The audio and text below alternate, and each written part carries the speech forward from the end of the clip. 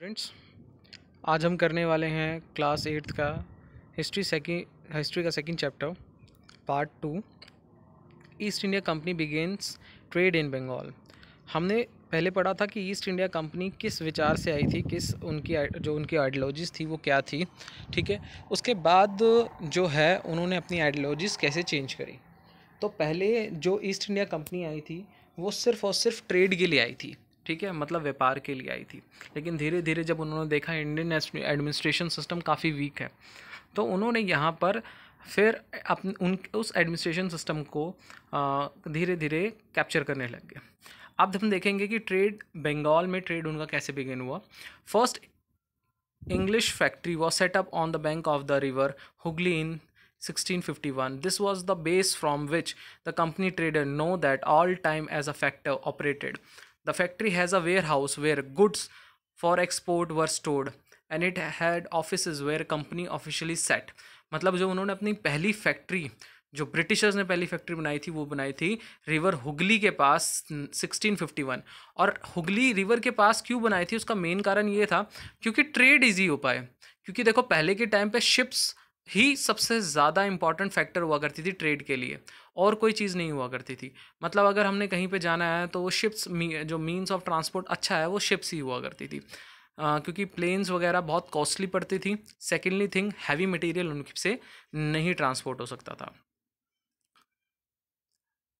As trade expanded the company persuaded the merchant and trader to come to settle near the factory जैसे जैसे उनका व्यापार बढ़ता गया, उन्होंने क्या करा? ट्रेडर्स और मर्चेंट्स को उनके आसपास की फैक्ट्रीज में सेटल करना स्टार्ट करा। By 1696 it begins building a fort around the settlement two year later the bribed Mughal officials in to given company ज़िम्मेदारी rights over the three villages अब धीरे धीरे जो वहाँ के मुग़ल ऑफिशल्स थे, उन्होंने मतलब उनको चाहे आप ये कह सकते हो धोखाधड़ी से या पैसे खिलाकर वहाँ की ज़मींदारी राइट्स ले लिए थे। तीन विलेजेस के आसपास की। अभी देखो सेटलमेंट स्टार्ट ही करा उन्होंने। मतलब अभी वो ट्रेड के लिए आ रहे हैं, अपना ट्रेड सेटलमेंट स्टार्ट हो रहा है, लेकिन अब ज़मींदारी मतलब एक ऐसा सिस्टम उन्होंने स्टार्ट पकड़ना स्टार्ट कर दिया है, जिससे वो जो फार्मर्स हैं प्रेजेंट्स हैं, उनके ऊपर कंट्रोल कर सकें। Two year later it it it was completed one of this was Calcutta which later grew into the city of Calcutta or Kolkata, as known as today.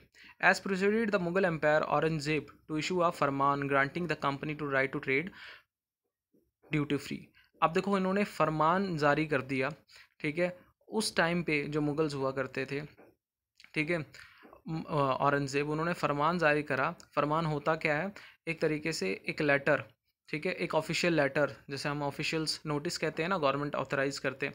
वैसे एक फरमान जारी कर दिया कि भैया अब जो ट्रेडर्स हैं, ठीक है मतलब जो ब्रिटिश ऑफिशियल्स हैं, वो हैं, वो वो यहाँ पर ट्रेड करेंगे, ठीक है? मतलब वो उस जगह पे, उस एरिया में आप ट्रेड करेंगे, वो भी ड्यूटी फ्री ड्यूटी फ्री का मतलब टैक्सेस नहीं उनके पास लग रहे। आप देखो कैसी मतलब उनकी सोच कितनी खतरनाक थी कि उनके ऊपर टैक्स तक नहीं लग रहे थे। ठीक है? आज हम जो हम आम लोग हैं, हम सब भी टैक्स भरते हैं, लेकिन उनको टैक्स नहीं भरने पड़ रहे थे। The company tried continuously to press for more concession and manipulate the existing privileges और is add farman for instance had great granted only the company the right to duty free but officials of the company who are carrying on the private trade on the side were expected to pay duty they this they refuse to pay causing an immense loss of the revenue of the Bengal. How could the Nawab of Bengal, मुर्शिद Ali Khan not protested अब यहाँ पर देखो दो चीज़ें थी। उनकी तो ट्रेड फ्री हो चुकी थी बट जो ऑफिशियल्स थे उनको कहीं ना कहीं जो और लोग थे उनको ट्रेड सॉरी टैक्स पे करना पड़ रहा था। तो इसकी वजह से वहाँ पर भी एक क्राइसिस हो चुके थे। मतलब वहाँ पर भी एक प्रॉब्लम क्रिएट हो गई थी। ठीक है किसी को टैक्स पे करने पड़ रहे थे किसी को नहीं। Next how trade lead to battle अब ट्रेड बैटल्स में कैसे बदल गई? मतलब अभी तो व्यापार हो रहा था और ये व्यापार करने आए थे।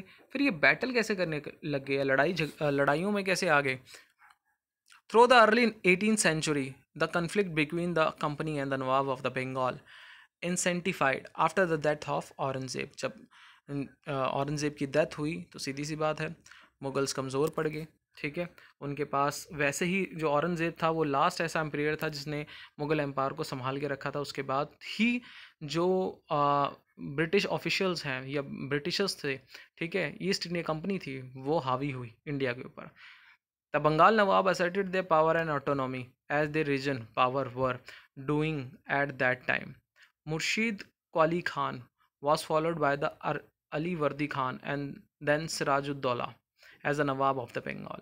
Each of them was a strong ruler. They refused to grant the company concession, demand large tribute for the company right to trade, denied its right to mint coins, and stop it from extending it fortifications अब यहाँ पे fortifications का मतलब क्या हो गया कि अपनी जो संपत्ति है अपनी जो एरिया है उसको बढ़ाना अब यहाँ पर जब सिराजुद्दौला आए, अलवर्दी खान आई, ठीक है, इन सब लोगों ने जो मुगल्स हैं, उनकी थोड़ी पावर को रिस्ट्रिक्टेड करना स्टार्ट करा, ठीक है, थोड़े से उनके ऊपर ये कह सकते हो कि रिस्ट्रिक्शंस लगाए टैक्सेस के, ठीक है, और उनको मना करा कि आप जो ट्रेड है, उसको थोड़ा सा ठीक ठीक से करो, ठीक है।